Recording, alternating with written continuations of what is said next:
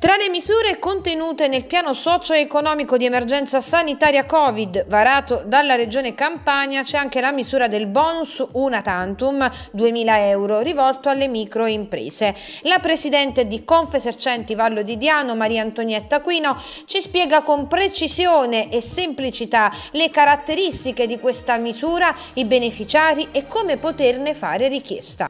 Che cos'è questo bonus una tantum 2000 euro? È un contributo a fondo perduto pari al valore di 2000 euro che viene erogato alle microimprese nel settore artigianato, commercio, industria e servizi della regione Campania.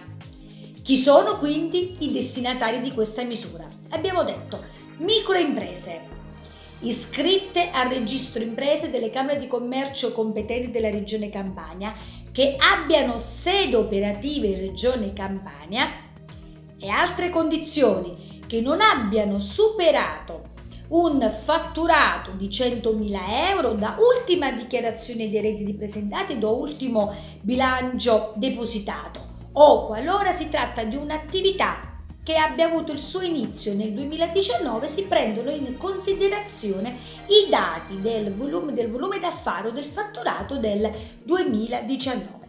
Ancora, possono partecipare quindi tutte queste micro imprese che risultano sospese ai sensi dei vari decreti del Presidente del Consiglio e qui si aggiungono anche i sensi delle varie ordinanze delle, della Regione Campania. Perché dico qui si aggiunge?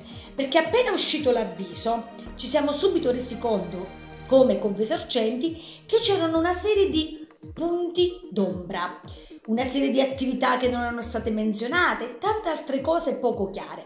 Immediatamente abbiamo fatto una nota in regione, la quale ci ha risposto um, in maniera positiva dando mh, mm, delle spiegazioni, affermando che bisogna prendere in considerazione sia le attività sospese ai sensi dei DPCM 11 marzo e 22 marzo, ma anche eh, bisogna tener conto delle varie ordinanze della regione Campania. Quindi quella tabella indicata dall'avviso è una tabella indicativa, andiamo a verificare caso per caso quello che è successo ad ogni singola attività e ad ogni area geografica della stessa regione Campania. Voglio ricordare che il Vallo di Diano, tanti comuni erano comuni in zona rossa, quindi seppur non, le attività non sospese non potevano comunque esercitare per delle ordinanze restrittive previste dalla regione Campania.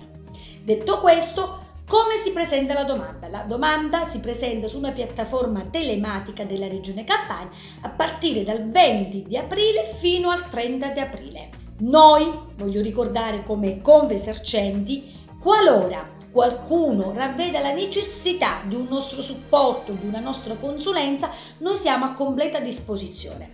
Un'altra cosa che voglio ricordare l'importanza di inoltrare queste domande con la firma digitale del legale rappresentante e non di un intermediario.